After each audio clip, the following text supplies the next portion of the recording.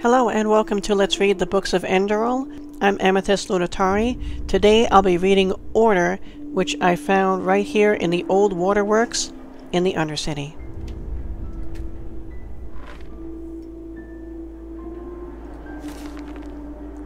Everything is ordered.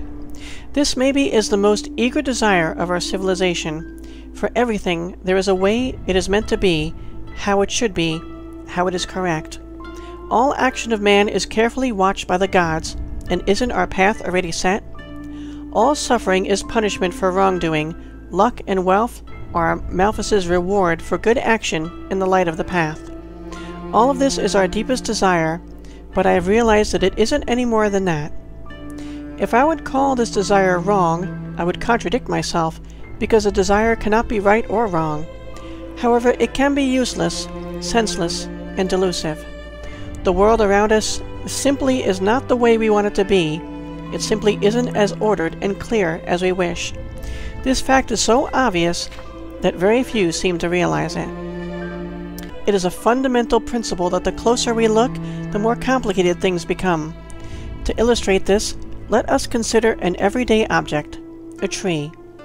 Most will now have an image in their mind of a girthy brown trunk with a green bushy crown of leaves on top of it. Let us leave aside the various types of trees which have a different appearance, and let us also not consider the fact that the leaves of a tree do change significantly over the course of the year. Now I want to ask, where is the border between the trunk and the top of the tree? From a distance, one can easily tell the approximate position, but the closer we approach our tree, the harder the distinction becomes. The trunk branches further and further, and at the end of the twig, dense leaves form leaving us unable to draw any clear line. Then you might ask, why is no tree exactly like one another? Why does the branching happen at different spots for each tree? Why has the wood such a varied yet distinct texture? All of this leads to the conclusion that the rules by which a tree grows must be unimaginably complicated and chaotic. And not only is this true for trees, but also for all other plants, animals, and even humans. Let us look at another aspect of this order we crave for so much. Two people are having heated debate and accuse each other of wrong behavior. Who is correct? You may listen to the argument for a moment and quickly find one of them to be guilty. However, doesn't our experience tell us that quick judgments are usually unfair? Shouldn't we assume that both of them are in part responsible for the conflict? Again, the closer we listen, the more we know about the reasoning of each one of them, the less we can call one guilty and the other one innocent.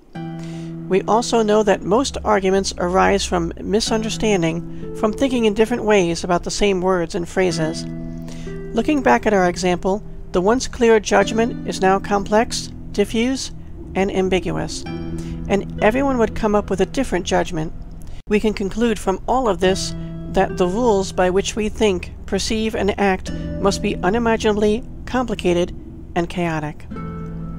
Now, should the insight from these two examples stop us from ever talking about tree trunks and tree tops, or from ever judging someone to be right or wrong?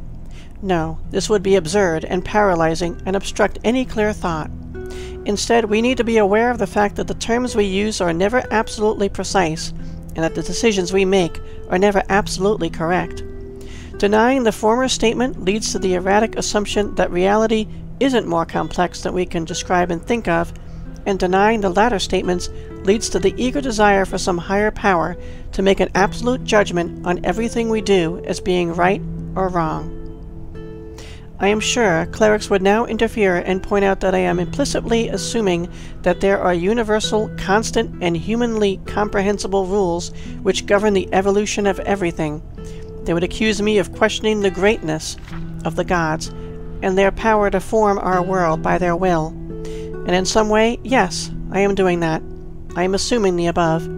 If you do not, you may disregard all of my explanations, but I urge you to think about this for yourself.